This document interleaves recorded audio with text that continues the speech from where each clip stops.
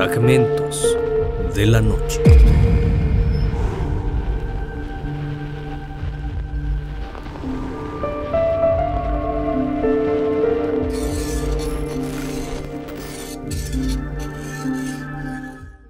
Hola amantes de la noche, sean bienvenidos a una nueva transmisión de este su canal, Fragmentos de la Noche. Como siempre es un placer estar esta noche con ustedes. Espero que estén pasando un agradable día y estén de lo mejor. Pónganse cómodos, que la función debe comenzar. Cuenta la leyenda que hace muchísimos años existió una mujer noble y humilde que residía en un poblado del estado de Guerrero.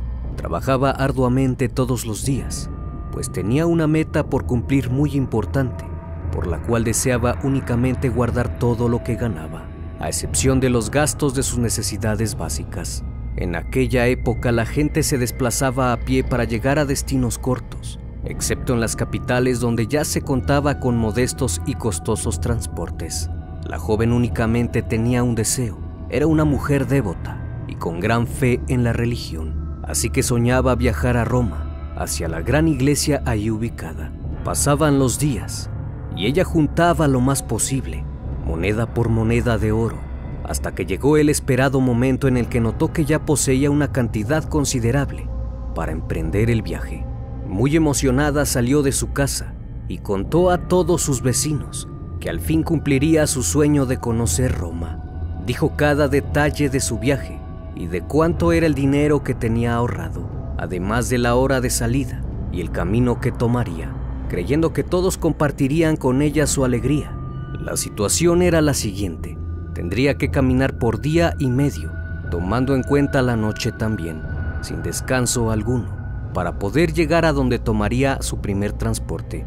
Para no perderse, caminaría a orilla de la playa para asegurarse de llegar a salvo. Al tener todo listo, salió la madrugada del día siguiente, a las 4 de la mañana. Curiosamente, esa noche la luna permaneció oculta, negando su resplandor a la joven que emprendía el largo viaje, portando su vestido blanco, las monedas de oro y un pequeño candil que irradiaba una luz débil. Comenzó la caminata, un poco temerosa debido a la gran oscuridad que invadía el entorno, y en su interior tenía un terrible presentimiento. Su piel se erizó e incluso una voz en su cabeza le indicaba no continuar. A pesar de ello, estaba decidida a cumplir su gran meta y continuó a pesar de todo.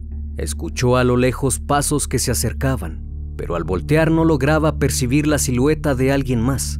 Creyó finalmente que era producto de su imaginación y de los ruidos de la noche. Avanzaba y continuaba, pero el camino se le hacía cada vez más pesado y la noche parecía no terminar nunca. Sentía que el tiempo no transcurría pues la luz no salía por ningún lado. De pronto, se sintió desesperada y sofocada. Un terror la inundó de pies a cabeza. Se detuvo de repente y vio como unos hombres le salían al encuentro, cerrándole el paso. Los sujetos le exigieron el dinero que portaba y asombrosamente sabían la cantidad exacta que ella traía consigo. A la tenue luz del candil vio el rostro de uno de ellos. Era uno de sus vecinos, que junto con otros ladrones acordaron robarle esa madrugada. Al mencionar su nombre y negarse a darle las monedas, los sujetos la tomaron por la fuerza, golpeándola fuertemente, abusaron de ella y finalmente la asesinaron. Días después, al anochecer, fue hallado su cuerpo con el vestido destrozado y manchado hemáticamente. Su rostro era irreconocible. El daño hacia ella había sido brutal, pero nunca se hizo justicia. Curiosamente, el candil permaneció intacto e inexplicablemente aún encendido. Los pobladores que la encontraron dejaron ahí el candil como un pequeño homenaje a la joven que le arrebataron la vida cerca de la orilla de la playa. Algunos años después, en casa del hombre que atacó fríamente a la mujer, comenzaron a ocurrir sucesos extraños.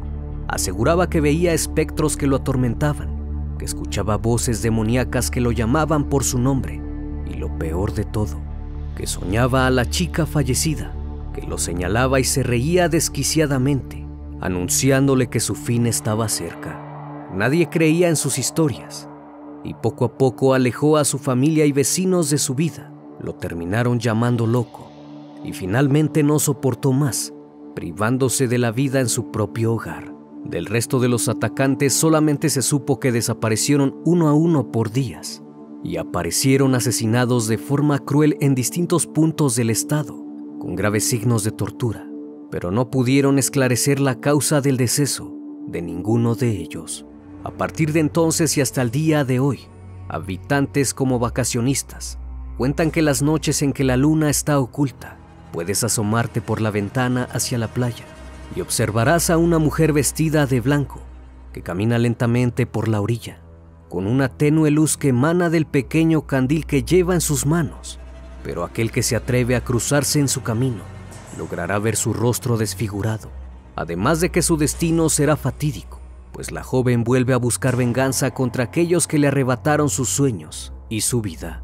Puedes contemplarla a lo lejos y por unos momentos además de escuchar voces fantasmales que inundan el entorno a su alrededor, dejando un sentimiento de gran terror para aquellos que la han visto o escuchado. Espero que esta historia haya sido de tu agrado. Como siempre es un placer tenerte en este espacio. Si aún no estás suscrito, te invito a que lo hagas y seas parte de esta gran comunidad. Esto es Fragmentos de la Noche. Dulces sueños.